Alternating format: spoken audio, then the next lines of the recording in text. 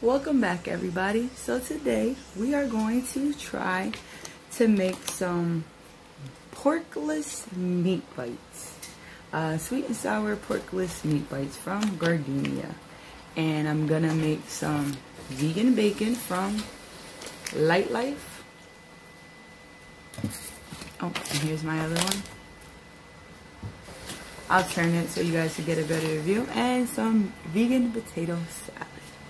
Mmm. Here's a better view on the package. See? Plant based. Always vegan. Now it looks good on the picture. But when I try it, it doesn't always look good. Or taste good. Only takes 9 minutes to cook. So let's see how it is. So then I also bought this at the store to try. Some vegan bacon. From Lightlife.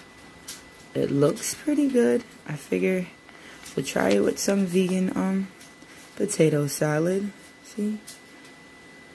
Looks good, right? And then, boom, for my potato salad, because I can't have real mayonnaise. It actually tastes like the real thing. So now that everything is done, I'm going to try it. I didn't mix the bacon with the potato salad this way. If I didn't like it, I could still have my potato salad.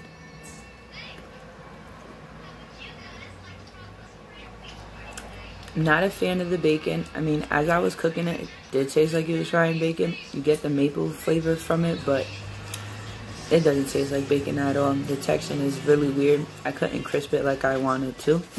Mm, let's try the pork. Sweet and sour pork.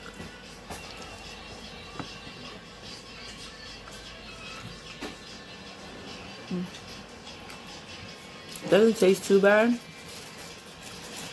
Um, the aftertaste really just throws me off. I may buy it again, try to get used to it. Doesn't taste too bad. Probably one of the one of my favorite ones that I've had. Um, bacon, I don't see me trying it again. And as for the potato salad, now I've had this mayonnaise before. It tastes just like regular mayonnaise to me. Potato salad tastes like potato salad. I don't think you would be able to tell the difference. Well, I'm to finish this. Um, I'm to finish this before I head to work. And if you haven't already, please like and subscribe to my channel, The Really Picky Vegan.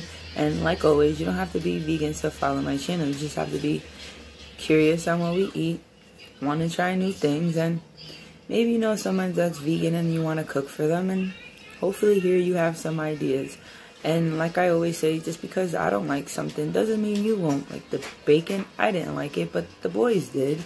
Um, I haven't had anyone try the pork yet, but like I said, there's things that I like that other people don't, and there's things that I don't like that other people love. So just gotta try it. Well, have a great day, and if you haven't already, again, please like and subscribe to my channel. Bye, guys.